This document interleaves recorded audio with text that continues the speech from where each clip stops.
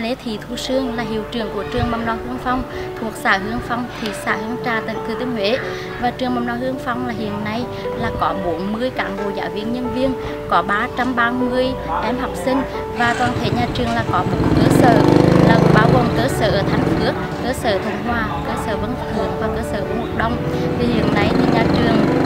sau cơn lũ lụt thì gặp rất là nhiều khó khăn uh, thiệt hại về cơ sở vật chất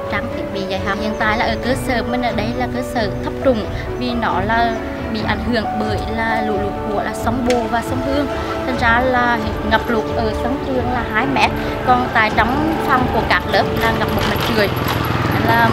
tất cả những vùng trang thiết bị, mặc dù đã à, được là kế gác trông lên rất là cao rồi, tuy nhiên thì mực nước rất là lớn, không tránh khỏi là sự hư hỏng về thiết bị đồ dùng cơ sở vật chất cũng như là các đồ chơi của các cháu à, đến thời điểm này thì um, nhà trường đã rất là may mắn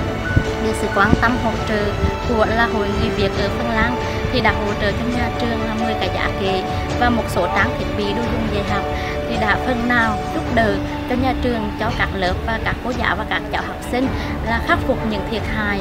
là sau lũ lụt cũng như là bổ sung những nội dung dạy học đầu tiên cho các cháu góp phần là giúp cho các cháu là phát triển tốt hơn à, trong những ngày tiếp theo. Và um, thay mặt cho trường mầm non Hương Phong à, là tôi xin chân thành cảm ơn là sự quan tâm giúp đỡ của hội người Việt tại phương Lan đã giúp đỡ kịp thời cho trường mầm non Hương Phong cũng như các cháu. Một lần nữa xin cảm ơn và xin chúc là hội người Việt ở Phần Lan luôn mạnh khỏe hạnh phúc làm ăn phát đạt và gặp nhiều may mắn trong cuộc sống. Và luôn quan tâm hướng đến là đất nước Việt Nam cũng như là các cháu học sinh uh, tại đất nước Việt Nam và tại tỉnh Thừa Thiên Huế. Miền Trung gặp rất là nhiều lũ lụt nói riêng ạ. À. xin chân thành cảm ơn.